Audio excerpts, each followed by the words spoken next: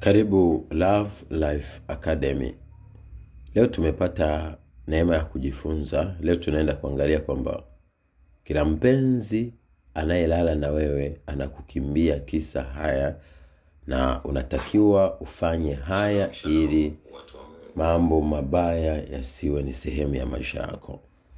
Watu wanaolala na wewe wanakuacha, wanakukimbia, wanakupuuza, wanakuacha kisa haya. Cha kwanza, amepata anachotaka. Kwa nini unakimbiwa? Ni kwa sababu umempa anachotaka. Inawezekana labda ni mtoto, inawezekana alitaka zinaa, ameshapata. Kwa hiyo ndo maana ameondoka. Cha pili, ameona udhaifu wako mapema, kwa sababu kumbuka, kila mwanadamu yeyote, hususan unaweza ujione hivyo. Kwa hiyo kuna vitu hususan kwenye mfumo wa vitu, na maana kuna vitu anakuwa anaona udhaifu, ubora, hali nzuri, na maana haipo. Sasa hicho kitu kitamfanya asiweze kubaki na wewe na kuache. Lakini cha tatu, anahisi wewe si mwaminifu. Anahisi wewe si mwaminifu kwa sababu gani?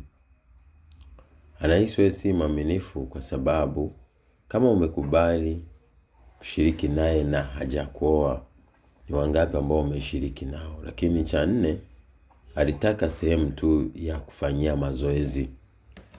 Unapokubali kushiriki tendo na mtu ambaye hajakuoa, ina maana umekuwa ni uwanja wa mazoezi. Tano, hujiheshimu. Kwa hiyo anaona huyu hajiheshimu, haheshimu mwili wake, athamini. Ni kweli unaweza ufanye zinaa, lakini baadaye utaachiwa na hali ya kusema kwamba huyu inawezekana ni mtu ambaye ni yule yule tu anajiuza. Lakini cha sita, atagundua kwamba hujithamini.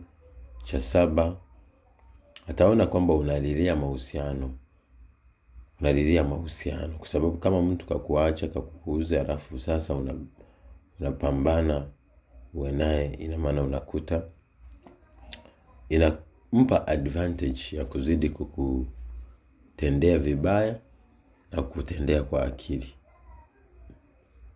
Leo ni ni kukumbushe pia kwamba tuna vitabu, tuna ushauri, lakini pia tutaweza kukusaidia uwezeje utembee kwenye misingi ya ndoa au ya uchumba ambayo utakupa ndoa kirahisi na bila kuumia sana au kutoa jasho. Mimi naitwa Apostle. I love you. God bless you. Thank you for watching.